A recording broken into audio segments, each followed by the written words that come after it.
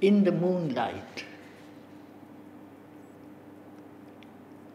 If now must pause the bullock's jingling tune, here let it be, beneath the dreaming trees, supine and huge that hang upon the breeze, here in the wide eye of the silent moon. How living a stillness reigns. The night's hushed rules all things obey, but three. The slow winds sigh among the leaves, the cricket's ceaseless cry, the frog's harsh discord in the ringing pools. Yet they but seem the silence to increase, and dreadful wideness of the inhuman night, the whole hushed world, immeasurable, might be watching round this single spot of peace. So boundless is the darkness, and so rife with thoughts of infinite reach, that it creates a dangerous sense of space and abrogates the wholesome littleness of human life. The common round that each of us must tread now seems a thing unreal. We forget the heavy yoke the world on us has set, the slave's vain labor, earning tasteless bread. Space hedges us, and time our hearts o'ertakes. Our bounded senses and our boundless thought strive through the centuries and are slowly brought back to the source whence their divergence wakes. The source that none have traced, since none can know whether from heaven the eternal waters well through nature's matted locks as Ganges fell, or from some dismal nether darkness flow. Two genii in the dubious heart of man two great unhappy foes, together bound, wrestle and strive to win unhampered ground. They strive forever since the race began. One from his body, like a bridge of fire, mounts upward, azure winged with eager eyes. One in his brain, deep mansioned, laboring lies and clamps to earth the spirit's high desire. Here, in this moonlight, with strange visions rife, I seem to see their vast peripheries, without me in the somber mighty trees. And hark! Their silence turns the wheels of life. These are the middle and the first. Are they the last two? Has the duel then no close? Shall neither vanquish of the eternal foes, nor even at length this moonlight turn to day? Our age has made an idol of the brain, the last adored a purer presence. Yet, in Asia, like a dove immaculate, he lurks, deep brooding in the hearts of men. But Europe comes to us, bright eyed and shrill.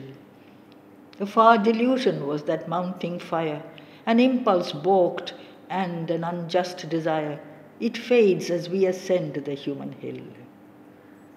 She cries to us to labor in the light of common things, grow beautiful and wise on strong material food, nor vex our eyes with straining after visionary delight. Ah, beautiful and wise, but to what end? Europe knows not, nor any of her schools who scorn the higher thought for dreams of fools. Riches and joy and power meanwhile are gained gained and then lost. For death, the heavy grip shall loosen, death shall cloud the laughing eye, and he who broke the nations soon shall lie more helpless than a little child asleep. And after? Nay, for death is end and term. A fiery dragon through the centuries curled, he feeds upon the glories of the world, and the vast mammoth dies before the worm. Stars run their cycles and are quenched. The suns born from the night are to the night returned, when the cold, tenebrous spaces have inurned the listless phantoms of the shining ones. From two dead worlds, a burning world arose, of which the late putrescent fruit is man. From chill, dark space, his roll of life began, and shall again in icy quiet close. Our lives are but a transitory breath, mean pismires in the sad and dying age of a once glorious planet. On the edge of bitter pain, we wait eternal death, watering the ages with our sweat and blood. We pant towards some vague ideal state, and by the effort, fiercer ills create, working by lasting evil, transient good. Insults and servitude we bear perforce, with profitable crimes our souls we rack, vexing ourselves lest earth our seed should lack, who needs us not in her perpetual course. Then down into the earth descend and sleep forever, and the lives for which we toiled forget us, who, when they turn, have moiled themselves forgotten into silence creep. Why is it all? The labor and the din, and wherefore do we plague our souls and vex our bodies, or with doubts our days perplex? Death levels soon the virtue with the sin. If death be end and close the useless strife, strive not at all, but take what ease you may and make a golden glory of the day. Exhaust the little honey of your life. Fear not to take her beauty to your heart, whom you so utterly desire. You do no hurt to any, for the inner you so cherished is a dream that shall depart. The wine of life is sweet. Let no man stint his longing or refuse one passionate hope. Why should we cabin in such infinite scope, restrict the issue of such golden mint? Society forbids.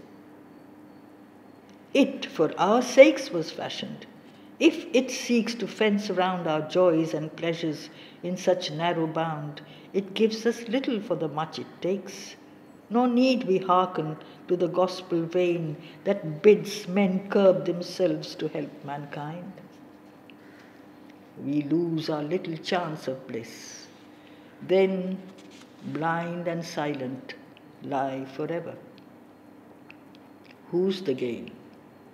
What helps what helps it us if so mankind be served? Ourselves are blotted out from joy and light, having no profit of the sunshine bright, while others reap the fruit our toils deserved.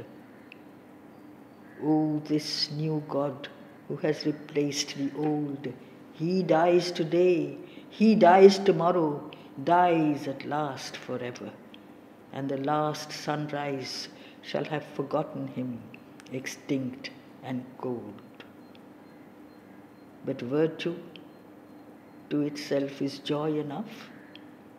Yet if to us sin tastes diviner, why should we not herd in Epicurus' sty from nature made not of a stoic stuff? For nature being all, desire must reign. It is too sweet and strong for us to slay upon a nameless altar, saying nay to honeyed urgings for no purpose plain. A strange, unreal gospel science brings. Being animals to act as angels might, mortals we must put forth immortal might and flutter in the void celestial wings. Ephemeral creatures, for the future live, she bids us Gather in for unborn men knowledge and joy, and for feet, nor complain the present, which alone is yours to give. Man's immortality she first denies and then assumes what she rejects. Made blind by sudden knowledge, the majestic mind within her smiling at her sophistries. Not so shall truth extend her flight sublime, pass from the poor beginnings she has made, and with the splendor of her wings displayed, range through the boundaries of space and time. Clamp her not down to her material finds. She shall go further. She shall not reject the light within nor shall the dialect of unprogressive pedants bar men's minds. We seek the truth and will not pause nor fear. Truth we will have and not the sophist's pleas. Animals we will take our groceries or spirits, heaven's celestial music here. The intellect is not all. A guide within awaits our question. He it is. He it was, informed the reason. He surpasses, and unformed presages of his mightiness begin. No mind submerged, nor self subliminal but the great force that makes the planets wheel through ether and the sun in flames reveal his Godhead is in us, perpetual. That force in us is body. That is mind. And what is higher than the mind is He. This was the secret science could not see. Aware of death, to life her eyes were blind through chemistry, she sees the source of life, nor knows the mighty laws that she has found are nature's bylaws, merely meant to ground the grandiose freedom, building peace by strife. The organ for the thing itself she takes, the brain for mind, the body for the soul.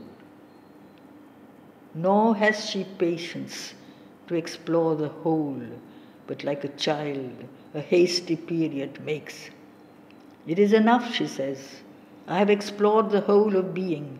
Nothing now remains but to put details in and count my gains.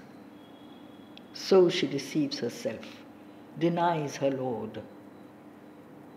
Therefore, he manifests himself once more the wonders of the secret world within, wrapped yet with an uncertain mist, begin to look from that thick curtain out. The door opens. Her days are numbered, and not long shall she be suffered to belittle thus man and restrain from his tempestuous uprising that immortal spirit strong. He rises now for God has taken birth. The revolutions that pervade the world are faint beginnings, and the discus hurled of Vishnu speeds down to enring the earth. The old shall perish, it shall pass away, expunged, and annihilated, blotted out, and all the iron bands that ring about man's wide expansion shall at last give way. freedom, God, immortality. The three are one and shall be realized at length. Love, wisdom, justice, joy, and utter strength gather into a pure felicity. It comes at last the day foreseen of old. What John in Patmos saw, what Shelley dreamed, vision and vain imagination deemed, the city of delight, the age of gold. The Iron Age is ended. Only now the last fierce spasm of the dying past shall shake the nations, and when that has passed, earth, washed of ills, shall raise a fairer brow.